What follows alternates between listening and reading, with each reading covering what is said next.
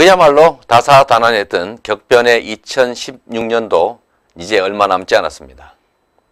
거리 곳곳에서 밝혀졌던 시민들의 촛불이 절망의 나락으로 추락하는 이 나라를 다시 일으켜 세우고 있습니다.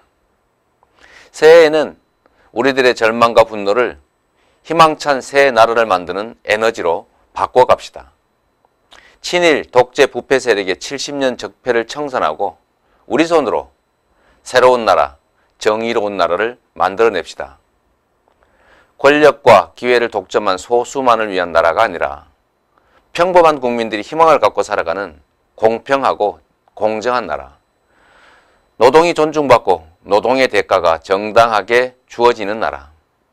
농민이 홀대받지 않고 농업이 중시되는 나라. 사회적 약자들이 차별받지 않고 누구도 억압받지 않는 나라. 비록 흙수저로 태어나더라도 미래의 희망을 꿈꿀 수 있는 나라. 재난과 재해로부터 안전하고 전쟁 걱정 없는 평화로운 나라.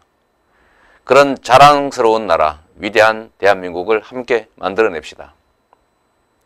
미래는 꿈꾸고 실천하는 사람들의 것입니다. 대한민국의 새 역사를 만들어가는 여러분이 진정 자랑스럽습니다. 새해 복 많이 받으십시오. 감사합니다.